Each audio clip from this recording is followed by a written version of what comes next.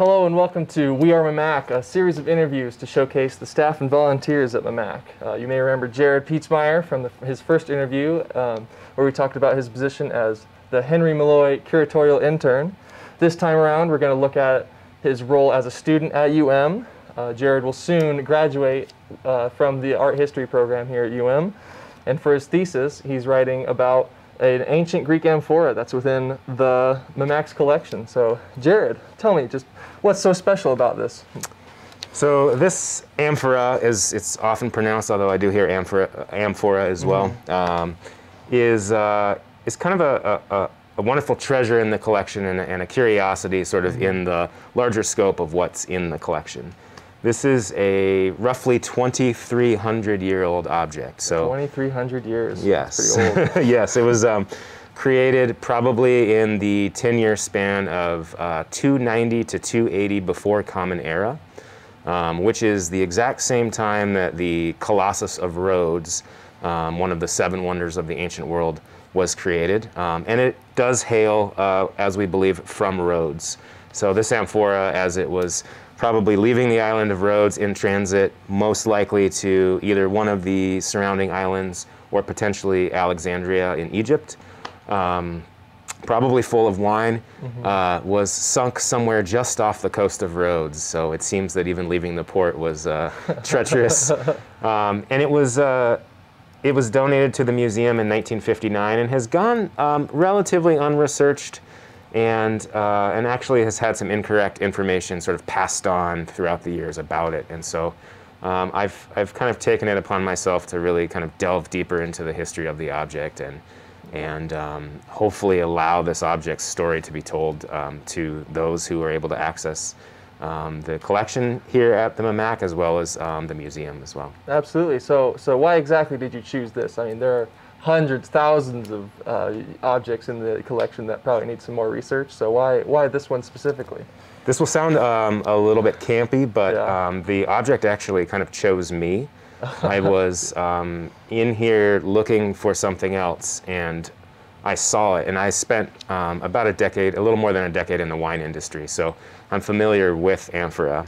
Um, I saw it down there, kind of started looking through our uh, object files about it, um, and then noticed that there were a number of both inconsistencies and some issues, um, curatorial issues with it that needed to sort of be resolved in terms of our donor relations as well as um, preservation. And as I sort of started researching more and more into it, it started kind of speaking to me as if I was the one that needed to sort of take care of this object and make sure that it um, sort of got its its due um, and, and its propers in terms of, of both being available to the public and having its um, really wonderful and remarkable story told. So, what have you done so far with it? Just, just research, or have you done anything physical? We have not done anything physical with it, and, and in fact, there is only one sort of thing that, that might be done physically with it, um, and that is on the top of the handles, uh, there are sea incrustations. Again, this was under the ocean for thousands of years.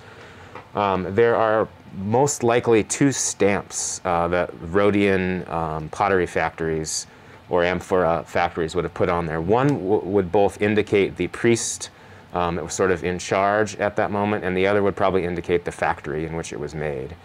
So we are. I am looking into you know multiple ways of trying to see if we can identify if there are stamps there, and certainly if there are, how we can sort of access them, because that will really give us a very definite idea of exactly when it was made and, and where it was made. Yeah, and so that is that also at the top of the uh, handles where everything Yep. is. So Right, both there'll be one on the top of this handle and one on the top of that handle if they are present. It- it- it's not for certain that they are present, but there's a good there's a good chance that they are. well, do you think that's going to happen anytime soon? Uh, both with COVID and with any any sort of project like this, things are slow moving, um, and we at the University of Montana don't really have the sort of tools in which to do that. So I've got lines in the water, if you will, to experts all over the country, including Canada, including people in Rhodes, trying to figure out, you know, what is the best way for us to even determine if those stamps are there, and then if they are there, what is the best non-invasive way for us to either a remove those sea incrustations, or ideally look through those sea incrustations with some sort of um, kind of X-ray or sonar technology to deter- determine what they are. Yeah, it's amazing what technology can do these days, right? Absolutely. Um, so you mentioned this was donated in 1959, correct? Yes. Yes. So, um, do you know anything about the story before then? How that collector got it, or? Yeah, it, uh, it's it's a and that's actually a remarkable part of the object's history. Um, it was not a collector per se. Um, a soldier or a marine, I should say, uh, named Richard Seaman Jr. was uh, stationed on the uh, USS Fort Snelling. Um, I don't know if you say stationed on a ship, but um, and was in the Mediterranean Sea. At which point, uh, he purchased this amphora from a sponge diver who dove down into the uh, into the port, I assume, uh, and brought it up and sold it uh, to uh, to Richard Seaman, who then brought it back to the University of Montana and donated it to the what was then the Montana State Collection um, in 1959. Um, there are even some more interesting parts to the story, which is that at that exact same moment that this sponge diver uh, sold this um, to our donor, the, uh, Sophia Loren was filming a movie in that exact same area called Boy on Dolphin, which is about lost ancient Greek treasure. And there are, are many sort of uh, parallel lines between the plot of that movie and the discovery of this amphora. And I've actually been trying to figure out through contacting Sophia Loren, who is one of the only people living that would know about it, um, whether or not those potential sponge divers may have been involved in the production of the movie as well, and really trying to figure out sort of that aspect of how it was found. Yeah, I know he probably bought it for you know pennies on the dollar, right? I would And- imagine And now so. here it is, Yeah. worth uh, priceless. Yeah. I'm I'm sure. Uh, that's a very interesting story. Certainly, just some you know some guy who happens to be in the right place, the right time, and and now here we are. No, and, and it's amazing to have something so ancient ancient in the collection. Um, does the so how would that this acquisition would that reflect uh, I don't know a certain collection policy at the time, or or what do you know about the collection policy here? Um, from what I've read in the in the those editions of the Montana Kaimin in the early early to late 50s and early 60s, it seemed as though the museum and the state was sort of in an acquisition mode of if it's an interesting object and someone wants to donate it, we're going to take it by and large. If it sort of has any um, kind of historical meaning or validity, and so. I haven't found, you know, kind of the, the edict that was written. Here's what we do take and what we don't take. But it seemed as though curiosities, as they probably would have been viewed um, in the late 50s, were were just, uh, you know, readily accepted by the museum. And then and then it was displayed for a few years. Um, I believe, you know, 1960, 61, right in there. Mm, yeah, so you bring it on, I guess, right? Yeah. um, and so, and, and that probably reflects a little bit why it was a little under researched and had some misinformation as well. I'm sure. Um, so yeah, so how did, how did you um, how did you know about the misinformation? I mean, it's probably written on a document. So how did you go proving that wrong? Yeah, so it had been um, put into our database as a third century common era and also uh, so a difference of about 500 years um, and also a Roman um, amphora. So quite quite a big difference there, both in the in the years and then the culture. Um, I simply started researching shapes of amphora, and it did not look like to me that it was a third century common era amphora from Rome. Um, and then I ended up um, contacting some experts, a very specific expert in, in Manitoba, who um, is probably the most preeminent expert on amphora in the West. Um, and he was able to identify it immediately as being uh, 290 to 280 BCE. Great, great to have a resource like yeah, that. it was awesome. yeah, very close. Um, yeah, is there anything surprising you learned about it in your research, or any, anything you weren't expecting to learn? you know, I've been delving deeper and deeper just into, uh, of course, the history of Rhodes, um, what I can find, and the around that time period, and as well as just the history of amphora. Um, the, the writings about amphora from that from that era are often technical, um, and they often don't really give sort of a broader art historical context.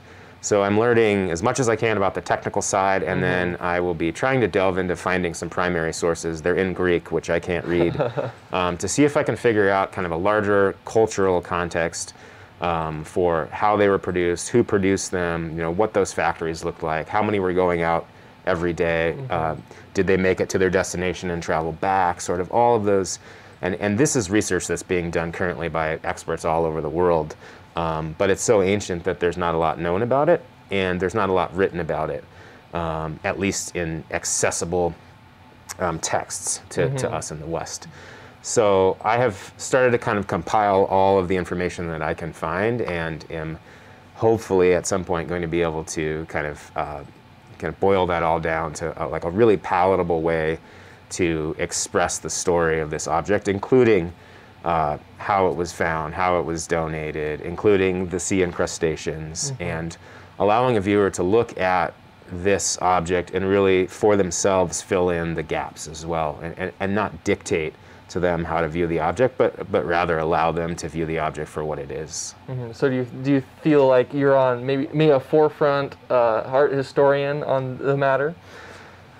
when I look, when I've looked at the uh, uh, texts on preservation and texts on display and texts on, on you know, sort of curatorial practices, um, the kind of old standard was a little uh, less what I'm doing. It was more clean the object, present it sort of in the way that would allow people to experience, as, experience it as it would have been in, uh, in Rhodes at that time period.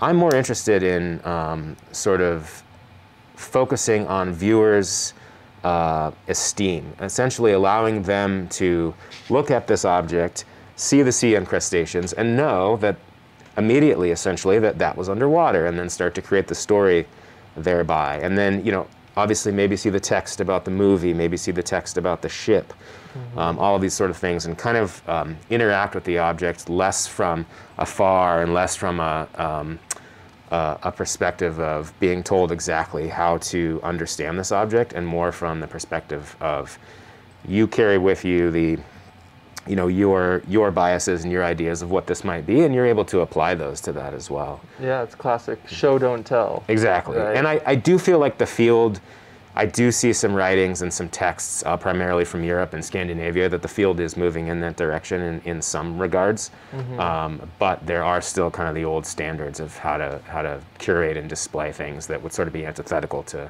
how i want to present this object Certainly. Uh, you mentioned that uh, all sorts of things. You know, there's there, it's more to research this. There's more than just the the actual clay itself. Right. Right. There's so much about the culture and uh, you know the location and whatnot. Uh, have you ever researched anything around that area before, or have you been interested in it before?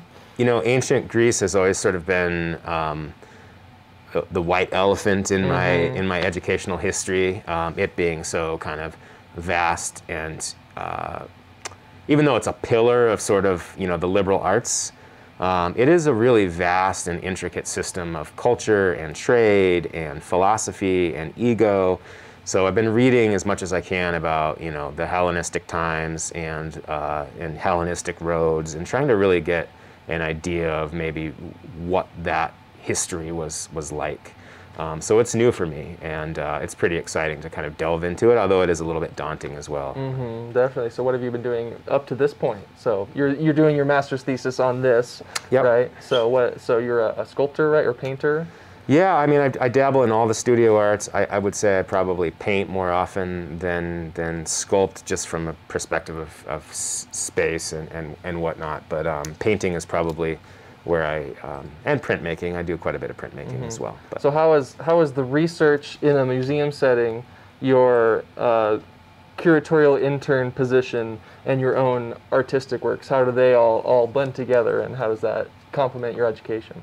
It's a great question. Um, you know, so I've got my studio practice and and and um, my investigations into my studio work, my uh, background, of course, being in art history, and then my hands-on work with the museum, um, both with the Meloy project and with any other um, kind of curatorial investigations I'm doing with the museum.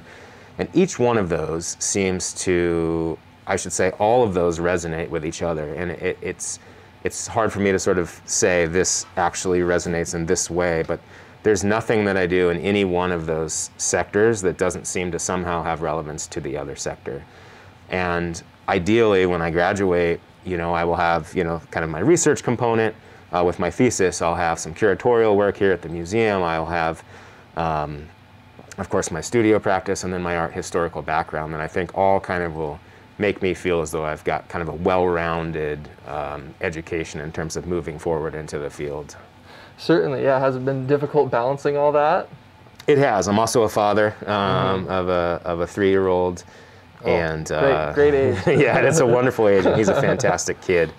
Um, but trying to to sort of balance all of that with being a dad and then taking care of myself and, and so on. It's um, it is difficult, but all of those realms are, are rewarding, and so um, it's hard for me in my personality not to want to do all of it every day, and I have to realize, okay, today I'm going to just focus on um, learning about the volume that this uh, was able to hold, and that's what I do that day. And then instead of trying to figure out the whole history of volumes of, of amphora forever, I just work on that and, and kind of compartmentalize it that way. Yeah, break it up into steps. You know, like like your uh, high school math teacher or your high school English teacher would say. You know, one paragraph at a time. Exactly. Yeah. So what what are your plans for the future? You're graduating uh, next month. Is that correct? Uh, I graduate next semester. Next at semester. the end of, end so of next semester. Winter Yep. 2021. Are you excited? I am, although I still feel like I will have so many unresolved kind of uh, projects that I'll be working on. Um, hopefully, I can continue to work with the MAC on the Meloy project, potentially as maybe a postgraduate project or something to that effect. I would, you know, the, the uh, registrarial aspect of that project will be done, and then I would hopefully be able to engage in the more curatorial and um, exhibition aspect of the Meloy project. Um, I want to teach. I love teaching. Um, of course, I've um, been grading uh, a grader on Art 150 online course, and then uh, this semester or in the summer, I'll also be assisting on the history of photography, which is an upper division course. Um, so teaching is definitely, I should say, is hopefully in my future. Um, but I, I don't know. All doors are open. I love sort of every aspect of, of yeah. anything. So you, so you plan on sticking around Missoula then? I hope so. I love Missoula. If Great there's place. a place for me here, some you know somewhere where I can engage in these kind of um, activities, then I would love to, to be here. Yeah, Missoula's a great, great artist haven, if you will. It really is. Well, great. I, I, I thank you for your time. You you were great to, uh, uh, with my questions. It's an amazing object, I gotta say, and it's crazy that it's in you know Missoula, Montana. It is right? crazy. All half half a world away. Yep. Uh, well, thank you so much. Uh, stay tuned, and you'll see this soon.